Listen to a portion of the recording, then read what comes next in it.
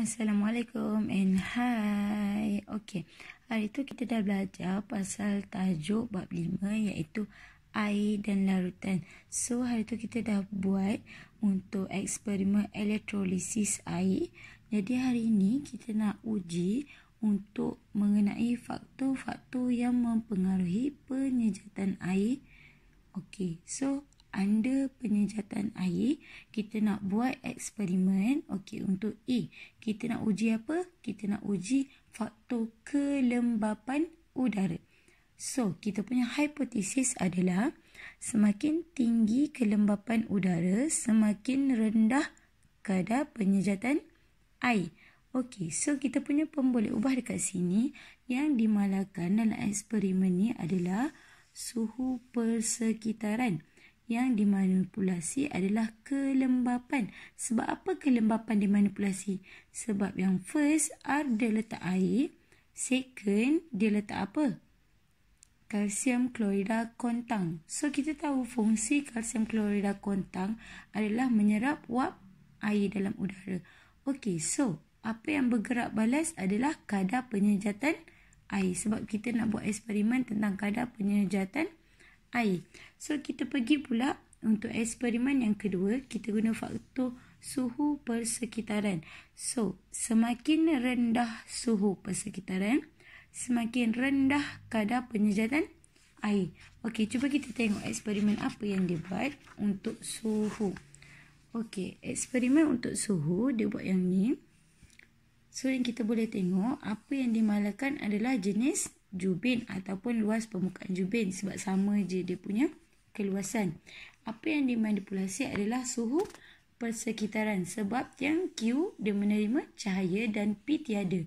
So apa yang bergerak balas still kadar penyejatan air untuk eksperimen ni. Okey, kita go through untuk faktor C, faktor ketiga. Hipotesis kita adalah semakin rendah pergerakan udara, semakin tinggi kadar penyejatan air. So, untuk buat pemboleh ubah, kita tengok eksperimen yang ni. Dia guna cellphone tape, dia letak atas slide kaca dan letak kertas kobalt klorida.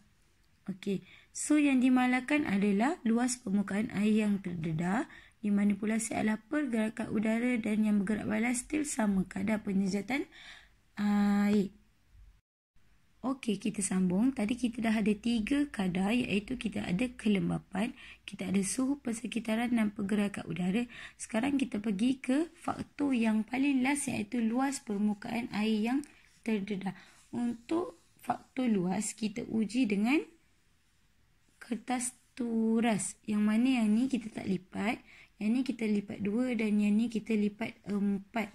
Okey, so hipotesis yang kita boleh buat, kita jangkakan adalah semakin besar luas permukaan air yang terdedah, semakin tinggi kadar penyejatan air. Maksudnya dia makin cepatlah diserap.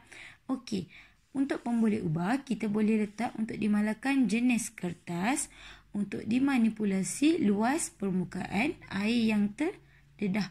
Untuk bergerak balas still sama iaitu kadar penyejatan air. Okey, untuk eksperimen ni, ini dia punya prosedur. Okey, kita pergi pula apa yang dia nak tengok. Okey. Yang ni dia punya pemerhatian. Yang mana kertas kobalt klorida S kita bagi nama lah SQM. Sebab yang tadi ada kat bawah adalah JKL. JKL ni adalah Okey, so maksudnya yang ni kita punya sendirilah untuk pemerhatian sebab dia nak kita buat eksperimen sendiri. Kita isi tempat kosong sebab kertas turas yang dibagi adalah 3 J, K dan L. So yang ni kita andaikanlah kita letak kertas kobalt klorida yang mana dia akan bertukar menjadi biru dan akan mengering sebab fungsi kertas kobalt klorida tadi kita kata dia menyerap wap air dalam udara. So untuk menjawab soalan yang first, dia kata apakah maksud penyejatan? Okey, penyejatan bermaksud proses perubahan cecair menjadi gas yang berlaku di permukaan cecair pada sebarang suhu di bawah takat didik cecair. Okey, next dia kata apakah kegunaan kalsium klorida kontang dalam eksperimen tersebut? Yang ni kita jawab tadi untuk menyerap wap air dalam udara. Kita go untuk soalan seterusnya. Berikan tiga aplikasi penyejatan air dalam proses makanan. Okey, so tiga contoh yang teacher bagi adalah membuat ikan kering, menghasilkan susu tepung dan menghasilkan garam. Okey, yang ni adalah kesimpulan untuk semua eksperimen di mana kita ada empat faktor. Kelembapan udara, suhu persekitaran, pergerakan udara dan luas permukaan terdedah mempengaruhi kadar penyejatan air.